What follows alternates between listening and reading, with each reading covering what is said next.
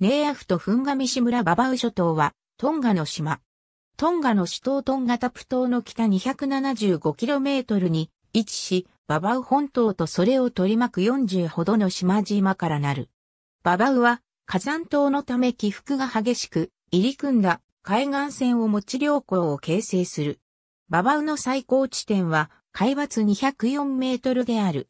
中心都市はババウ本島南部にあるネーアフで世界有数の良港を持ち、首都ヌクアロファに次ぐトンガ第二の都市となっている。また、美しい風景と良好に惹かれた観光客も訪れ、特にヨットなどマリンスポーツが盛んである。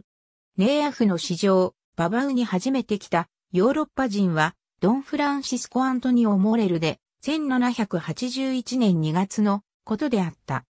ジェームズ・クックはこの島を彼より10年前に知っていたが、その前に訪れたハーパイ諸島で人々がババウには良い港がなく行くのが困難であると言ったため、クックはそのアドバイスに留意してこの島を訪れなかった。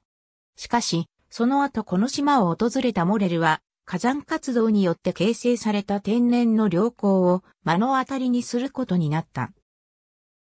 続いて1793年にはアレッサンドロ・マラスピーナがこの島を訪れて1ヶ月滞在し、モレルと同じくこの島のスペイン領有権を主張した。1839年にはトンガ国王トゥポー一世がババウにてババウ法を制定した。